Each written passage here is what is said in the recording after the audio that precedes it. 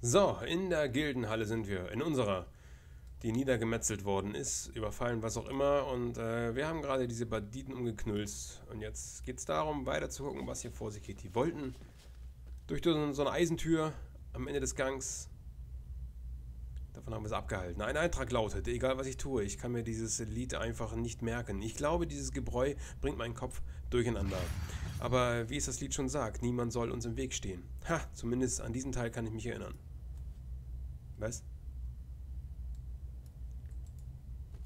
Hier ist ein Schrank mit, mit Wickeln. Hier liegen auch noch Sachen rum.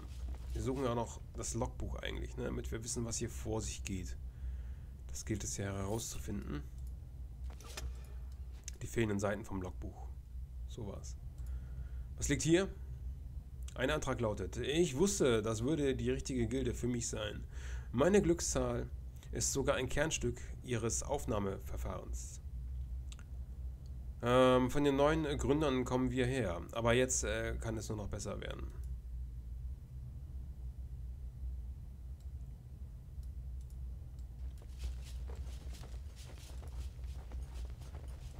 Hier liegt auch noch Kram rum. Ein Toder. Ein Schrank liegt hier auch einfach so rum.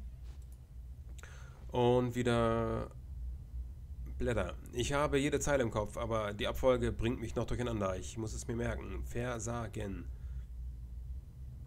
Versagen?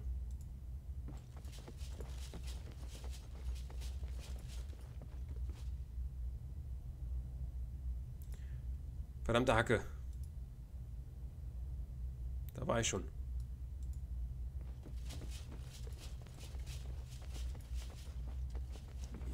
Zettel rum. Was steht da geschrieben?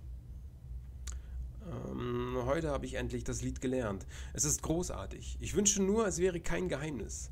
Meinen Freunden zu Hause würde es gefallen. Vor allem die Zeile In der Dunkelheit schreiten wir voran erinnert mich an meine Zeit in den diversen Verließen. Okay, alles klar. Und nochmal Schuhe. Ich finde immer ganz viele Schuhe hier. Schön, schön. Das richtige Rollenspiel für Schuhfetischisten. Lauter Kram. Und hier steht was geschrieben. Auf der letzten Seite befindet sich ein hastig hingekritzelter Eintrag.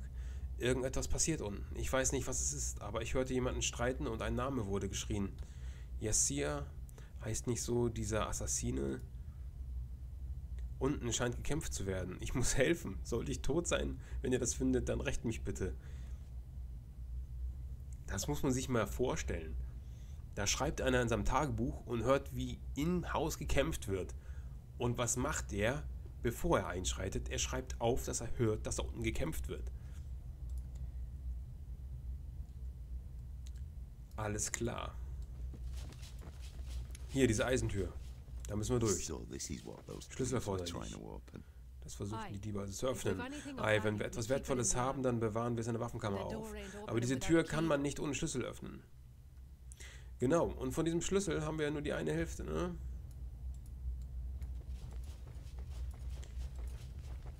Also wieder runter.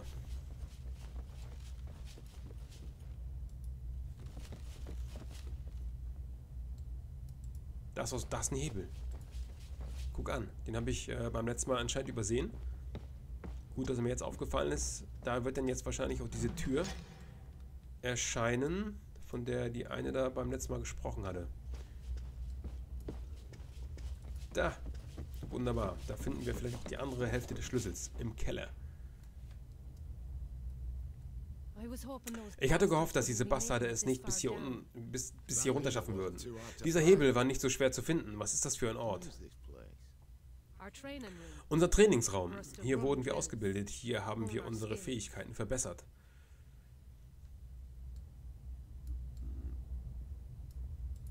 Das Holodeck. Ein Gong. Ein Rucksack. Nee, ein, Sack, ein Sandsack. Also Rucksack. Guck mal, ein Rucksack.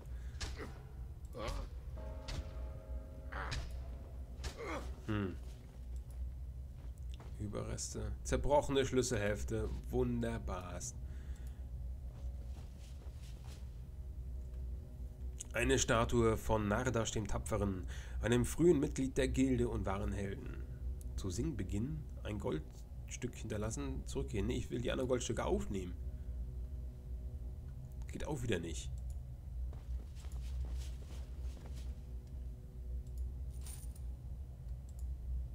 Der liegt da lustig da in der Ecke rum. Wie bist du da hingekommen? Ja, nun gut. Den Schlüssel kriegen wir bestimmt nicht selber zusammengeklüsert. Das probiere ich jetzt gar nicht. Ähm, weil ich mir schon ziemlich genau denken kann, dass man da zu dem Schmied hin muss. Der verlangt bestimmt wieder Geld dafür. Würde ich mein Eier drauf verwenden. Mache ich aber nicht. Äh, Entermesser. Eine Tränke? Ach, da war ich noch gar nicht drin. Geheimer Unterschlupf. Schmied. Wie war das hier mit dem Marker? Da. Da muss ich hin.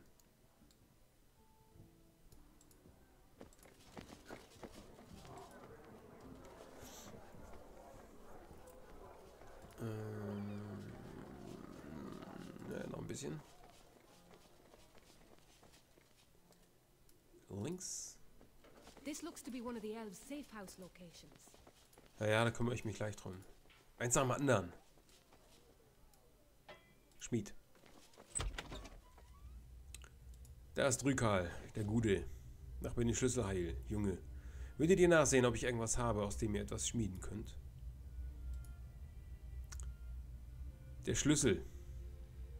300 Gold. Ja, klar. Alles klar, Zeit die Schmiede anzuwerfen. Schepper, Schmetter, Rumpel, Schepper, Zisch. Da hätte ich mir jetzt einen Effekt gewünscht, ne? Gut, erledigt. Bitte sehr, mein Kind. Danke, auf Wiedersehen. Und jetzt komme ich in die Waffenkammer. Und dann kriege ich den richtig geilen Scheiß.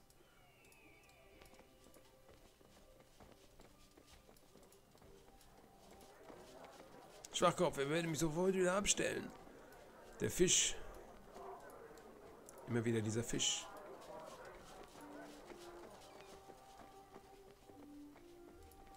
Hier, nee, jetzt ich dran vorbei. Rein da. Und zwar nach oben.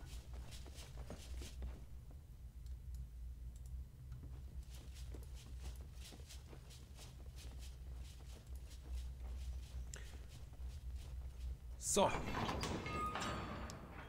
Loot Time, die Waffenkammer und keine dieser Bastarde. Was, wir sollten uns mit neuen Waffen ausrüsten. Die meisten davon waren gerade im Einsatz, aber ich bin mir sicher, dass wir etwas Nützliches finden werden. Naja, eine Mütze. Berserker-Axt. I do hope there's something magical in this one. Ja, auch so ein paar Sachen. Morgenstern plus 1, das war's? Das kann ich doch nicht annehmen. Ich kann nicht annehmen, dass das schon alles ist. Doch, ne? Ja, da gucken wir mal. Soll ja der letzte Scheiß, der letzte moderne heiße Scheiß gewesen sein. Der letzte, einfach nur der letzte Scheiß, genau.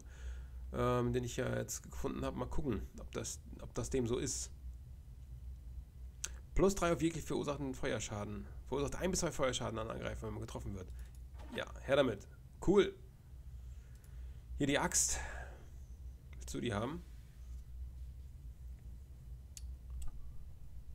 3 bis 12 Schlitzen, plus 1 auf Trefferschaden. Wutanfall bei einem fehlgeschlagenen Rettungswurf Weisheit, wenn man getroffen wird. Plus 2 Konstitution. Schon nicht schlecht. Kann die denn da ordentlich mit umgehen? Was sind hier die Waffenfertigkeiten?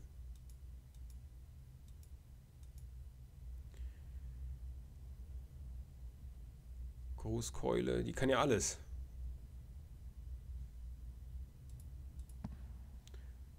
Hat sich die Frage ja erübrigt. Machen wir das. Plus zwei Konstitutionen, Zwergengürtel. Her damit. Hat die den jetzt an? Ja.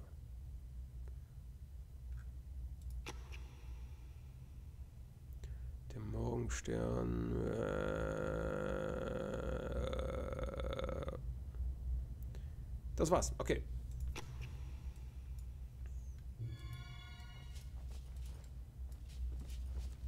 Hat sich der Kram ja gelohnt. Und jetzt schnell zu diesem äh, Unterschlupf hin, an dem wir gerade eben vorbei sind.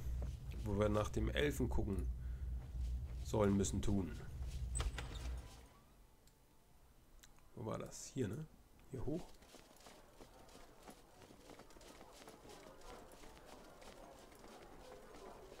Noch ein bisschen, noch ein bisschen. Und jetzt hier links. Geheimer Unterschlupf. Soronil scheint nicht hier zu sein. Wir müssen besser woanders. Wir suchen besser woanders nach ihm. Ah, hier war ich schon mal drin. Den Schrank, den Schrank habe ich schon mal ähm, aufgemacht. Hier sind noch so andere auf der Minimap, so kleine Punkte. Nochmal geheimer Unterschlupf. Und nochmal ein geheimer Unterschlupf. Da schlupfen wir doch mal hin. Wo hier? Alles klar. The map says we're close to one of the elves' hiding spots. Sorenil don't appear to be here. We better search another location. Hier war ich auch schon drin. Hier ist gar niemand.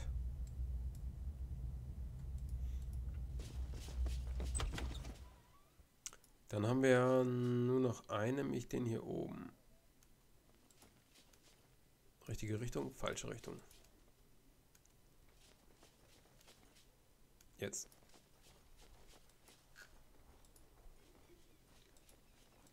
Da oben.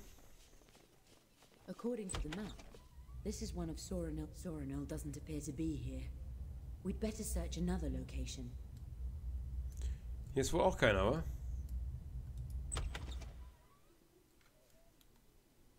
Okay, diese drei hier rechts unten schon mal nicht. Gehen wir doch mal hier so lang weiter. Da, was, was, was ist denn hier? Noch ein geheimer Unterschlupf. Dahin. Hier, so.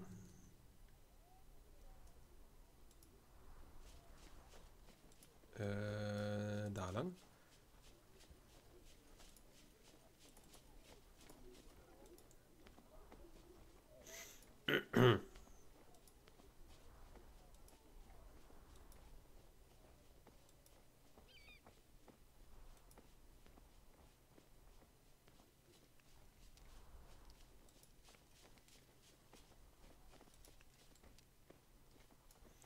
Ich one of the spots ansprechen. on that map.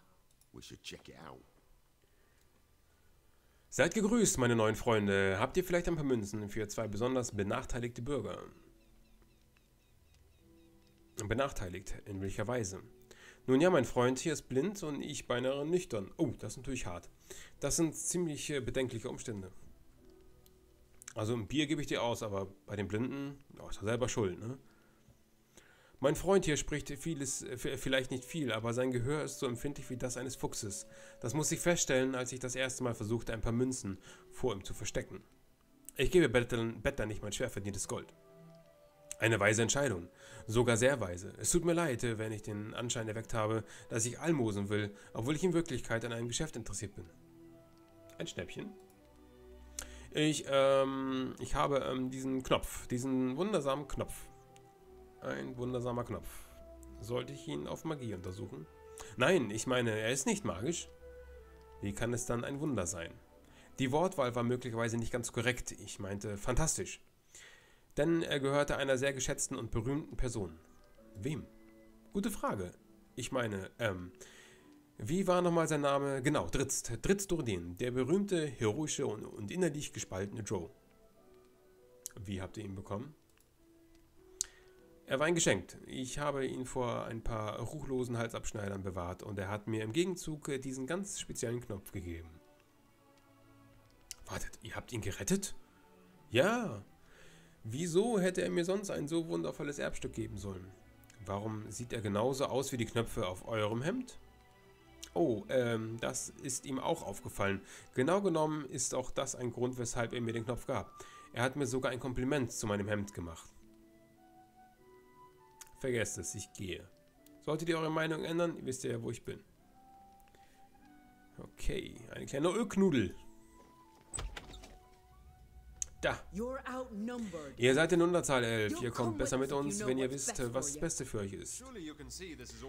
Sicher seht ihr, dass es sich hierbei handelt. So wie ich das sehe, werdet ihr uns begleiten oder an Ort und. Stelle sterben.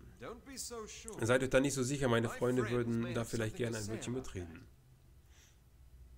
Ups. Haltet euch da raus. Das sind Angelegenheiten von Schiff Baram. Was macht ihr hier?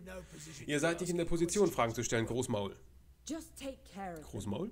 Kümmert euch einfach um sie und ich verdopple eure Bezahlung. Wer, wer hat das gesagt? Der Agent des Güldenen Auges. Äh, Rustlam aus der Schusslinie, bitte. Get ready. Und dann klassische Reihenfolge. Einmal das Tier. Oh, der Agent ist schon tot. Ja, ich bin ziemlich mächtig. Und die sind schon bewusstlos. Ja, ist doch gut. Das war bestimmt der Elf.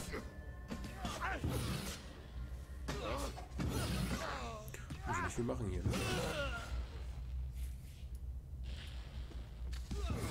Tschung, magisches Geschoss noch drauf.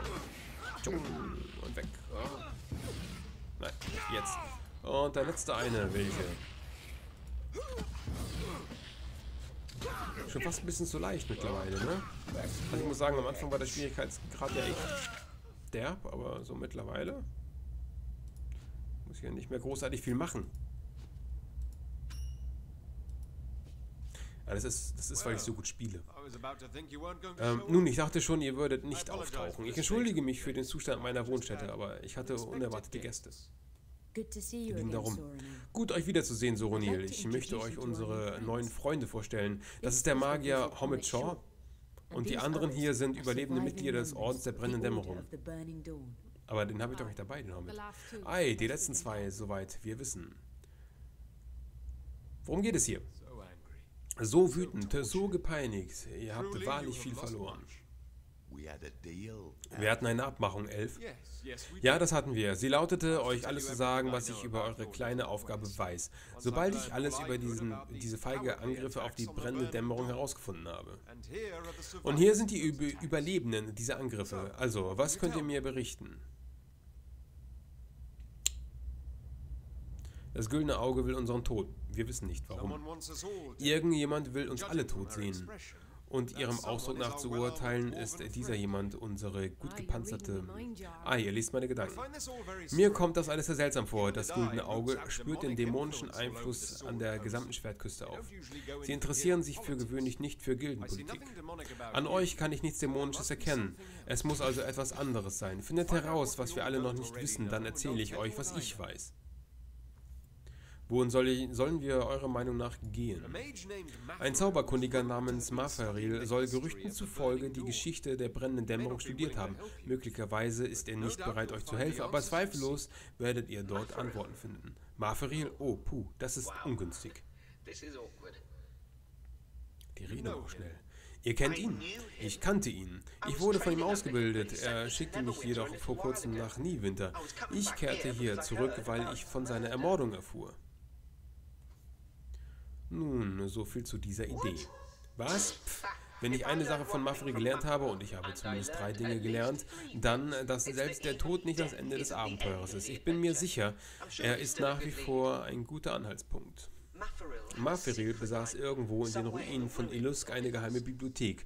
Dieser Mann hat alles niedergeschrieben. Einmal fragte ich ihn, was er schreibe. Selbst das schrieb er auf. Dann suchen wir seine Bibliothek. Vielleicht erfahren wir dort mehr. Ja, ich bin sicher, dass dieser Plan nicht schiefgehen kann. Diese gesamte Stadt steht auf den Ruinen des alten Illusk. Doch die Ruinen sind nördlich von hier, in der Nähe der Elendsviertel der Stadt. Und für einen Nekromanten wäre der nahegelegene Friedhof recht praktisch, könnte ich mir vorstellen. Wir werden uns im Entermesser treffen, wenn wir die Informationen zu Mafirils Bibliothek haben. Warum interessiert euch das so sehr?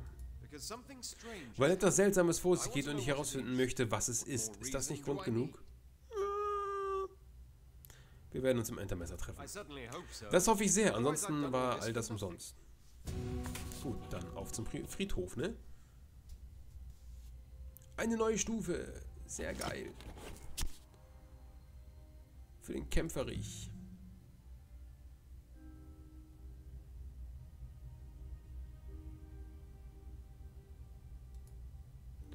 Hätte gerne Mehrfachtreffer zielen. Ist passiv. Ja, komm, will ich lernen. Äh, Die Fähigkeit, das, äh, da kann, kann ich noch nicht weiter, da auch nicht. Ja, was haben wir denn hier?